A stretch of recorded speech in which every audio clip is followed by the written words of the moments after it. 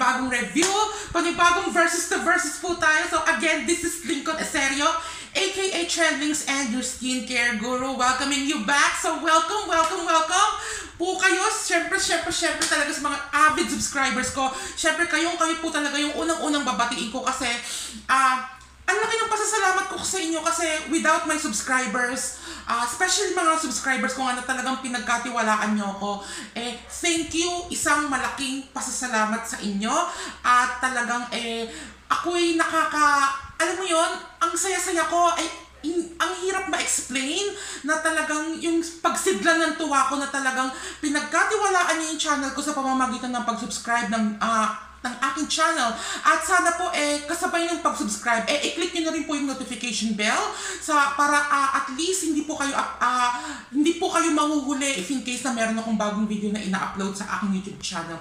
Okay, so kung kayo po ay baguhan pa lang at napadpad sa aking YouTube channel, well again, my name is Lincoln Eserio and my channel is all about beauty product, whitening product at higit sa lahat mga pampaswerte, mga lucky charm at kung anik-anik pa, okay? Kasi doon po talaga ako magaling, yun po yung expertise ko, yung mga pampa-beauty, mga pampaputi, at higit sa lahat, yung mga nagbibigay pampaswerte sa ating buhay, okay? So, kung papansinin niyo po yung mga channel ko, I really have a lots of video, okay? Nasa 370 plus na po, kung di ako nagkakamali, or going to 400.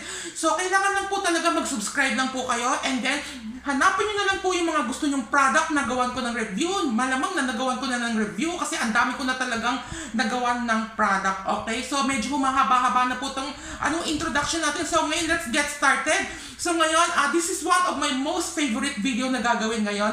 Kasi, inabang-abang ko na talaga to as you saw it on the thumbnail at sa title. So, paglalabanin po natin ngayon ang green papaya versus green papaya ng whitening lotion. Okay?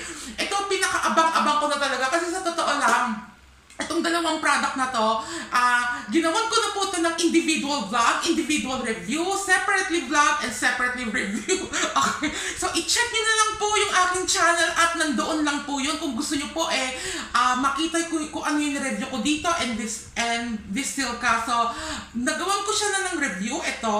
And then, nagawan ko na rin po ito ng individual review. Okay, so, panahon na itong video na to para pagsagupain sila, paglabanan sila kung sino ba talaga yung mas okay, mas effective. So, kung kayo po ay addict sa mga whitening lotion o naghahanap ng sino ba mas okay, sino ba mas sulit pagdating sa pera or sa bulsa, okay? So, might as well, you really have to watch this video from start till the end. Kung kayo po ay avid fan ng Flawless You whitening lotion or kung kayo naman po ay avid fan ng Silka Green Papaya lotion, okay? So, alam naman natin na talagang itong dalawang produkto na to or itong dalawang brand na to ay talagang kilala na. As in, sobrang kilala na. Lalong-lalo na tong Silka na to. Kasi since nung nag-aaral pa lang ako, since 1998, 1997 talagang meron ng silka at talagang medyo gumagamit na ako noon nito nung bata-bata pa lang ako. Ito medyo baguhan pa lang yung ano niya in the market. Kung di ako nagkakamali, nasa 5 years na siya ngayon. 5 years or 4 years siyang tumatakbo. Itong Flawless Liu, Green Papaya plus Calamansi. Okay, so ngayon, hihimay-himayin natin to at ngayon sa pamamagitan ng apat na category which is syempre yun po yung pamantayan ko, no? So, sa pagre-review or sa paghihimay ng mga produkto. So, number 1 category, yung packaging. Number 2 category, yung price. Number 3 uh, yung texture mismo ng product at higit sa lahat, yung number 4, kung sino ba mas okay sa dalawa, sino ba yung mas marerecommend ko, sino ba yung mas sulit sa bulsa, at higit sa lahat, sino ba yung mas maraming benefits na, na maibibigay. So, uh, kailangan I suggest to you na kailangan eh, wag niyo pong i-fast forward to kasi baka mamaya meron kayong makaligtaan or malagpasan ng mga important information na sasabihin ko. Okay? So, ngayon, um, uh, Magsimula na tayo sa category number one, which is yung packaging. Okay, so, diretsahan na tayo. Sa totoo lang, maganda naman yung packaging nilang dalawa. Okay, pero kung tatanungin niyo ako, since this is my review, this is my channel, this is my opinion, kung tatanungin niyo po ako, diretsahan na, no? So, kung papansinin niyo, walang pinagkaiba, halos maganda, napakasimple, at sa likod niya may mga information, di ba?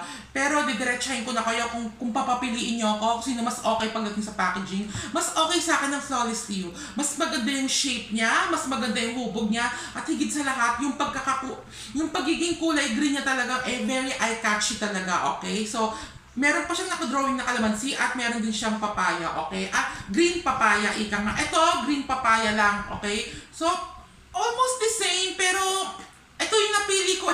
so, sana po intindihin nyo na lang po, ano, sa Flawless Liu ang aking napili pagdating sa packaging, okay? So, again, uulitin ko, lahat po ng mga sasabihin ko dito, eh, disclaimer lamang po, lahat po, eh, pawang naging opinion ko, naging experience ko, at higit sa lahat, yung naging point of view ko. Alam ko, magkakaiba tayo ng pananaw, kasi isisingit ko lang to ah. Siyempre yung mga iba sa inyo avid fan ng Silka, yung iba sa inyo avid fan ng Flawless Liu, okay? So baka mamaya mag-violent reaction kayo may, kung may masabi man ako hindi maganda sa isang produkto. Again, yun lang po yung mga na-experience ko at yun lang po yung mga naging review ko based on my own opinion, okay? So ngayon dadako na po tayo sa category number 2 which is yung price, okay? Alam nyo, ha, totoo lang, halos wala silang pinagkaiba sa price. Okay, itong Silka, kung hindi ako nagkakamali, binili ko to sa Shopee. Ay no, sa Super 8 ko siyang binili. Although, this is available nationwide. Mabilis siyang hanapin sa supermarket, sa drugstore, online, Lazada, Shopee. Very, very accessible siya, okay? Pero since available nga siya sa amin, sa Super 8, binili ko to sa halagang 140 pesos, kung hindi ako nagkakamali. 140, okay? So, sa 200 ml, 140 pesos, okay? So, hindi siya mahirap hanapin, okay? Kung kayo po eh naghahanap nito, napakabilis lang po talaga, very accessible sa mga physical market. Pero itong Flawless Liu, green papaya plus calamansi, my goodness. Sobrang hirap niyang hanapin sa totoo lang. As in, matagal ko na siyang gustong gawa ng vlog talaga noon pa. Pero hirap na hirap akong hanapin to. Kasi hindi talaga siya available sa mga physical market, sa mga Save More, Super, ah, sa Super 8, Pure, I really don't know sa Pure Gold, pero ang hirap talaga niyang hanapin. So, although meron siya sa ah, online Lazada, sa Shopee, pero karamihan talaga out of stock po talaga itong Flawless Liu 2-in-1 green papaya plus kalamansi. Pag bibili ka naman sa Shopee, meron naman sa Shopee kaso lang nga tatagain ka ng seller kasi sobrang mahal. Sobrang mahal yung ipapatong nila sa'yo. Kaya, might as well advise ko sa inyo kung bibili kayo nito, sa Lazada po kayo kasi meron pong official store ang Flawless Liu or ang Splash Corporation. Again, ang Flawless Liu po ay under ng Splash Corporation at meron po silang official store sa Lazada. So kung tatanungin niyo ako magkano bili ko dito is 110 pesos lang sa 200 ml. Okay? So kung papansinin niyo po, ito 140. Ito 110. Pero parehas lang sila ng laman, 200 ml. Pero nagkataon lang nga, pag online, alam naman natin na merong kaakibat na shipping fee sa whether it's Lazada or Shopee. So halagang 42 pesos po yun kung hindi ako nagkakamali. So 110 plus 42 pesos, that makes 152 pesos yung overall na binayaran ko, okay? So kung titimbangin nyo, 140 sa, sa Super 8 ko to binili. Grocery store. Ito, ito naman 152 kasama na shipping fee. So halos hindi sila magkalayo ng presyo. Okay? But I think this is available sa Mercury Drugs. Sa mga selected store na Mercury Drugs, available po ito. Okay? So ang kinaganda kasi dito sa, dal- sa dalawang to, ay hindi, ito pala, is pwede kang mamili ng mga sizes. Meron silang 200 ml, 150 ml, 300 ml. Meron silang malalaki nito. Yung, yung malalaki nila, may, pag binili mo yung malalaki, meron silang dipindot na ganon para lumabas yung lotion. Ito kasi, ang available size lang niya, kung hindi ako nagkakamali, is 200 ml. Wala silang malaki. Kung hindi ako nag... ah base lang po sa opinion ko, ah, kasi nag, matagal na ako nagsisearch nito at wala po talaga ako nakikitang malaking flawless Liu 2-in-1 green papaya plus calamansi. 200 ml lang po yung available nilang size. Unlike itong Silka Green Papaya, meron po silang mga available size. Depende po kung saan po gusto ninyong ano. Kung suki po kayo ng, ng Silka Green Papaya, might as well yung malaki ang bilhin ninyo kasi The more na malaki yung bibilhin yung silka, green papaya, the more na mas makakatipid po kayo, okay? So, pagdating sa presyo, kung tatanungin nyo ako, patas po sila. Wala akong pipiliin kasi they are almost the same lang nga, di ba? Wala silang pinagkaiba. Konti lang yung lamang nga lang ni Flawless Leo kasi nga may shipping fee to, okay?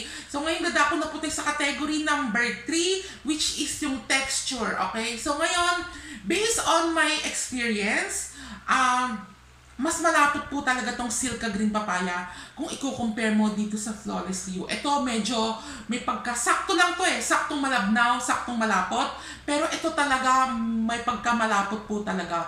Tapos kung tatanungin nyo ba ako sino mas mabango, pareha silang mabango.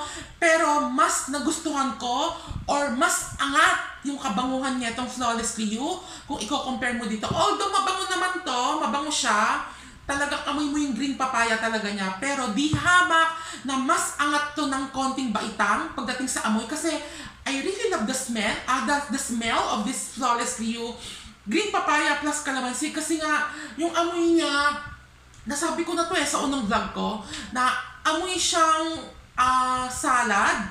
Amoy siyang buko salad na pinaghalong melon tsaka gatas pag pinaghalo-halo niyo po yun, yung buko salad, melon, tsaka gatas, ganun po yung amoy niya. Napakabango niya, okay? So ngayon, gusto ko ipakita sa inyo kung ano, yung mismong texture nila. So ito po yung texture ng silka. Ayan o, silka.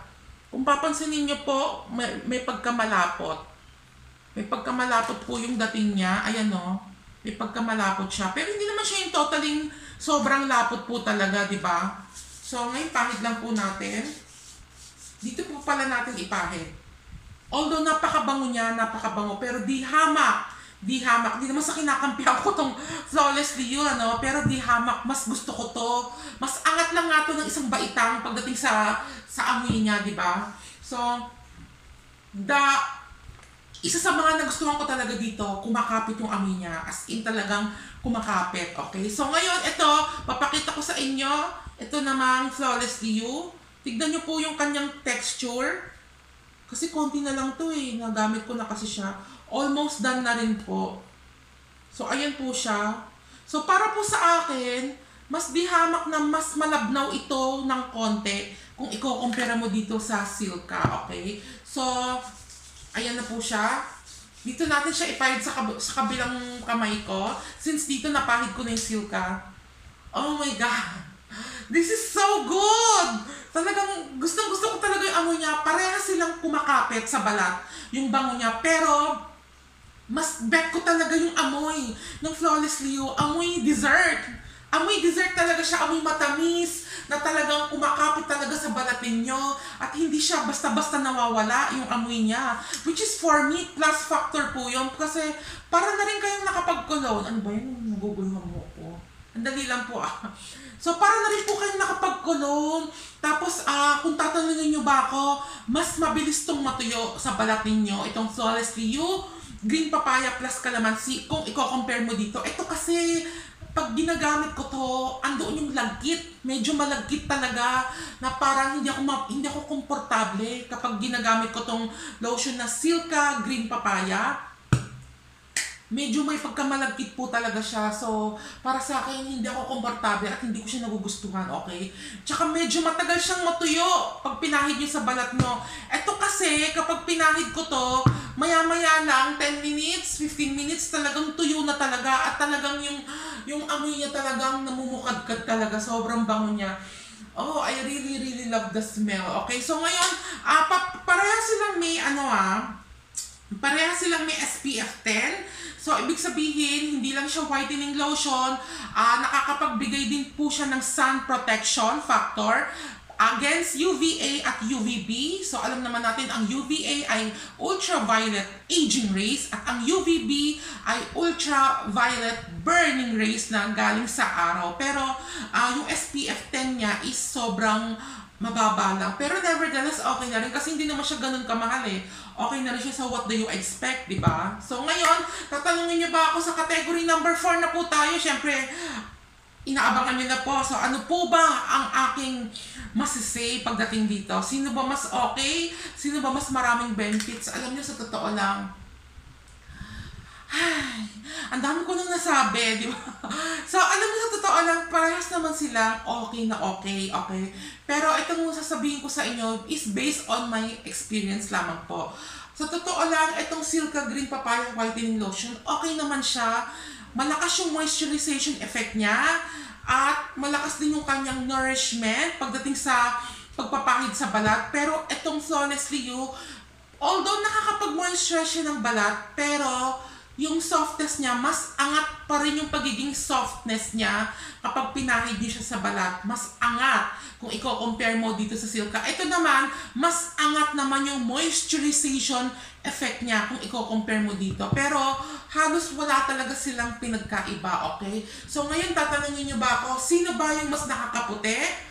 Sino ba yung effective na mas nakakaputi? Kasi yun naman talaga yung pinaka main, main reason kung bakit tayo bumibili ng mga whitening lotion, di ba? Okay. So, meron lang akong gustong linawin, ano? So, sabi kasi dito sa Silka Green Papaya, uh, whitens in early as 7 days. Okay? Ito naman, sa Flawlessly You, whitens in 7 days. Ayan, no? So, for me, didiretsahin ko na kayo, hindi po totoo na in early as 7 days, eh talagang may makikita na kayong pagputi, kahit konti. Between Silka and Flawlessly You, etong Silka, ah, didiretsahin ko na po kayo, no? Ah, wala po akong nakitang pagputi dito sa Silka. Okay? Matagal ko na itong ginagamit since nung nag-aaral pa lang ako and then until now, ah, gumagamit ako nito pero paputol-putol. Pero I doubt na wala talaga ako nakita na pagputi, okay? Kahit beyond 7 days pa yan. Although nakaubos na ako ng isang botelya, sabi ko nga sa inyo, matagal na akong gumagamit nito. Pero wala po talaga ako nakikitang pagputi, okay? Ito namang flawlessly you, sabi niya dito, whitens in 7 days. Hindi rin po totoo na nakakaputi siya ng 7 days, okay? Ginamit ko to ng after 2 weeks. Then, after 2 weeks, doon ko po may nakita na may sudden change. May lightening effect akong nakita, may whitening effect akong nakita sa balat ko. At higit sa lahat, yung softness niya talaga, as in pack na pack po talaga, yung pag-soften ng balat ko. Okay, so, yun po yung pinagkaiba niya itong dalawa na to. Ito kasi, wala akong nakitang pagputi. Pero ito naman, may nakita naman akong pagputi, pero hindi siya in early as 7 days. After 2 weeks ko pa siyang nakita, after using this for 2 weeks or over, okay? At halos lahat naman, totoo naman dito, nakakapag-soften siya ng balat, nakakapag-lightening siya ng balat, totoo yan, nakakapag-smoothening, uh, nourishing your skin, okay? So, pero ito naman, halos lahat totoo din naman to, nakakapag-nourish, higit, sa lahat, moisturization, ang lakas niya. Ang lakas niya makapag-moisturize ng balat. So, kung kayo po ay may, may mga dry skin, might as well, maire-recommend ko po sa inyo itong dalawang to. Pero mas higit na maire-recommend ko sa mga taong may dry skin, itong Silka Green Papaya. Pero kung gusto niyo talaga makakita ng pagputi, ito po yung maire-recommend ko po sa inyong Flawlessly You 2-in-1 ha. Again, 2-in-1 hindi lang siya green papaya, meron na rin po siyang kalamansi na halo. So alam naman natin yung kalamansi at yung green papaya, isa po siya sa mga main factor or main ingredients pagdating talaga sa pagpapaputi ng balat. Okay? So sana po malinaw ano. So kung tatanungin niyo ba ako, sino ba ang nanalo dito sa laban na to? So I guess you heard it right. So mukhang may idea na rin po kayo. So for me ah, For me, ang pipiliin ko talaga pagdating sa pagpapaputi, based on my experience at based on my skin type, mas gusto ko itong si Flawlessly You kasi 2-in-1 siya and then medyo mura siya. Unlike dito, medyo mahal ng konti. Although wala silang pinagkaiba, halos konti lang yung pinagkaiba ng presyo nila. Pero ito kasi, kalamansi na, green papaya pa. ba? Ito kasi green papaya lang. Okay? So again, again, la, ah, yung, pagsasabi ko na ito yung pinili ko based on my skin type lang to, no? Again, may mga katao kasi hiyang dito at may mga taong hiyang din dito. So nagkataon lang, this is my channel, so nagkataon na ito po yung humiyang sa akin. At feeling ko mas sulit ako dito kasi nga 2 in 1 na talaga siya At meron po talaga ako nakitang pagputi, okay, kung ikaw compare mo dito. I really don't know. Siguro nakakaputi talaga to. Siguro hiyangan lang nga at siguro mas matagal ka dapat gagamit niya itong silka. Kailangan continuous use bago mo makita talaga yung effect ng pagputi ng inyong balat, okay? So, konting tips at advice if you really want to achieve whitening skin, whiter skin, or fairer skin, or kung gusto nyo ma-achieve na mas mabilis ng pagputi, might as well, kung gagamit kayo ng Flawless Liu Green Papaya, sabayan nyo po ng Flawless Liu Green Papaya na sabon, ng whitening soap. Okay? So, kung kayo naman po eh, napagdesisyonan nyo, gusto nyo silka, green papaya, sabayan nyo po ng silka green papaya din na whitening soap para mas magtutulungan yung dalawang produkto na yon para mapabilis yung pag-achieve nyo ng fairer or lightening of your skin. So, yun po yung maititips ko po sa inyo, okay? So, sa mga taong gusto magpaputi dyan, i-take nyo po yung ad- advice ko at talagang may makikita po talaga kayong pagputi. Pero, syempre, you really have to be very patient, tiyaga, tiyaga, tiyaga, para at least may makita. Wa- Wala pong isang, ano lang, yung isang, isang gamitan lang puputi na, wala pong ganun, di ba? So, kailangan talaga you have to very be, be very patient. Kailangan tuloy-tuloy yung po yung paggamit ninyo para may makita po kayong effect sa pagputi ng balat. So sana po ay nagustuhan niyo tong video na to at sana po eh may natututunan po na may natutunan kayo at sana po eh nakapagbigay ako sa inyo ng knowledge. So lalong-lalo na sa mga taong naghahanap ng mga whitening lotion, 'di ba? So for me, for my own opinion, flawless you Green papaya plus calamansi is the winner. Okay, so if you have any comment or question, just feel free to comment down below kung gusto nyo po mag-share ng kwento regarding this sa Flawless Leo or kung kayo po ay gumagamit nitong Silka Green Papaya, you are feel free to comment down below. Share your experience to our viewers and share your experience na rin po sa akin, okay?